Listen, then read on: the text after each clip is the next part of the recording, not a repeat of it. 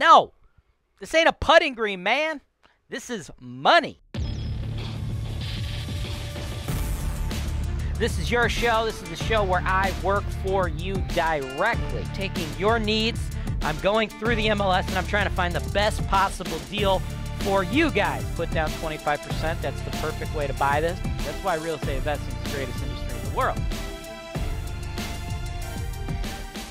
Welcome to another episode of the MLS Search and Analysis Show. I'm your host, James Wise, and this is the show on Holton Wise TV where I work with people just like you, helping them buy properties like this, man. This is a beautiful, beautiful home, dude. This is amazing, man. Look at this little old lady thing right out of the 1960s, dude.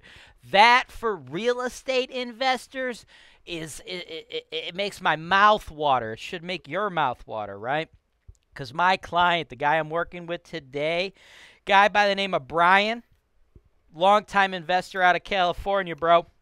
And you came to me because you're looking to flip some properties on a budget, right? You want to keep your budget small. You only want to spend about 120k. I got something right here that's going to be very close to that. All right, you're going to have to uh, go back into the pocket just a little bit, brother, because what I got laid out here, I think you could knock out a hefty $20,000 profit, which was what your target was. I think you can knock that out with a total of $130,000. Let's explain. This property, 6848 York Road, Parma Heights, Ohio, just got listed for $107,500, and she is a beauty, bro. She's she's a beautiful house, man. Look at this nice brickwork. This is a solid neighborhood, by the way. Uh, right by Tri C. That's uh, where I actually got my uh, my business degree from that school. Okay, now it's just right out of the '60s, dude. It's like we had like a little old lady, little old dude living up in there for probably 50, 60 years. Haven't changed a damn thing, right? Perfect, right? It's it's what we like to call in the business a house with good bones. Uh, but of course, you know, this isn't appealing to anybody other than Leave It to Beaver, man. So this is exactly the kind of deal you want to target, brother. Everything cosmetically, we need to go in and repaint all the walls, you know, hit them with a nice modern, agreeable gray, get some white trim, pull all this old stinky dinky carpet from the friggin' 60s and 50s and whatever year it was. Hey lenders, wouldn't your logo look amazing up here? Send us an email at sales at holtonwise.com. Pull all that shag carpeting out, refinish all the hardwoods that are in there, or I, we like to refinish the hardwoods on the main floor. And since it's not a rental, it's going to be a flip. Just put carpet in the upstairs.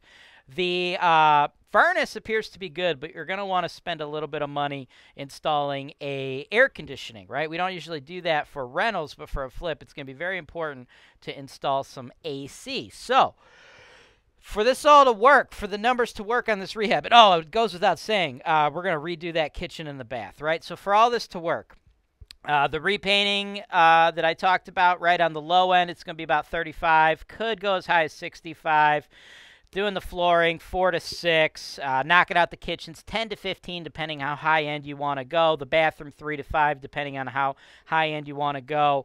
And then additionally adding that ac unit that's going to run you about four. Now on the high end here i have some other things that uh, could happen. I don't necessarily know if they will, uh, but that's what the home inspection's for, right? I don't know the condition of that roof, but if we did need to do a roof, it'd be six. If we did need to replace the hot water tank, it'd be a thousand. That furnace looked okay to me. Uh, if we have to upgrade the electrical, we'd be looking at around two, right? So renovation-wise, I believe with the information I have right now, we're going to be around a twenty-four and a half thousand dollar budget, but uh, you know, it's possible that that could go as high as 46,000 depending on what we find in that inspection report, right?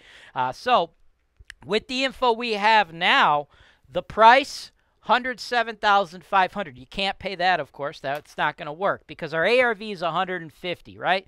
Doing that rehab, we'll sell this for 150. Thus meaning we can spend $93,500, right? That's your max offer, 93.5, which will allow you to pay for the renovation I'm talking about, pay your commissions on the ARV sale, pay your closing costs and hit your profit margin of 20k. So you can pay 93 and a half, Brian, and hit your goal of making $20,000. Now, of course, if we go into that home inspection and it turns out we do need a roof, at that point, say we're under contract at 93.5 and it turns out we need a roof, at that point I would go back to the sellers and, you know, we would work on a negotiation, man. Maybe we can get them to give you uh, another $6,000 discount and you still can make your 20. Maybe they'll split it with you and maybe you end up making 17. You know, there's a lot of ways this could go.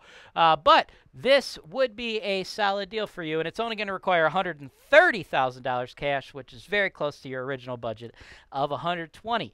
If uh, this one doesn't go through because again, flipping houses is a numbers game, right? You know, a lot of flippers out there, a lot of developers are going to be looking at this nice, solid, high B grade neighborhood like Parma Heights.